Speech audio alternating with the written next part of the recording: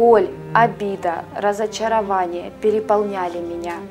Я не видела выхода в этой ситуации, и я приняла решение разводиться. Зависимость от спиртного оказывает влияние как на шансы завести семью, так и на способность ее сохранить.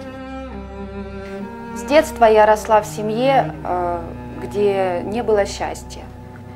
Э, своего родного отца я не вижу уже с трех лет, потому что он очень любил мою маму, но очень сильно пил и продолжает пить.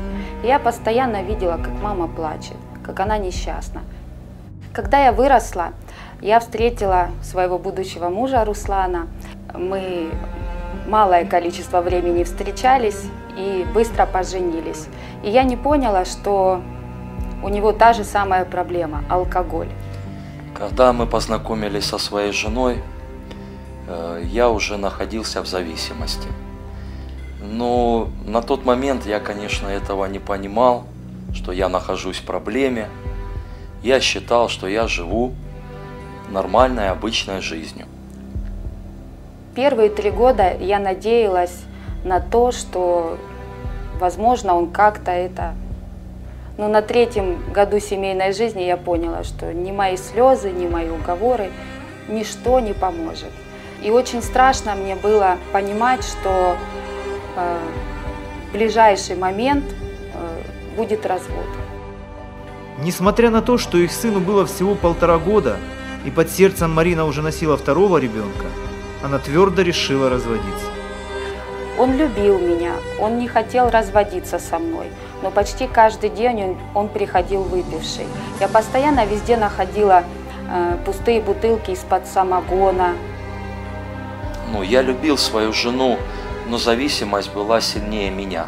Водка это была моей второй женой, которую я любил больше. Доходило уже даже до того, что он приползал домой на пузе. Ребенок не понимал, садился сверху на папу, радовался, думал, папа играется. Я ждала какого-то момента, какого-то толчка, чтобы подать на развод. Но однажды слова, сказанные священником с экрана телевизора, прозвучали для нее как гром среди ясного неба. Развод – это не воля Божья для вашей семьи. Для нее это был замкнутый круг. Она не могла поверить в то, что ее мужа может хоть что-то изменить. И тогда она закричала в небо. «Хорошо, Бог, я разводиться не буду, но я отказываюсь бегать, я отказываюсь страдать. Я отказываюсь следить за своим мужем. Я доверяю его в твои руки. Делай с ним что хочешь. После этого начали происходить перемены. Когда я нач начал читать Библию, совесть начинала обличать меня.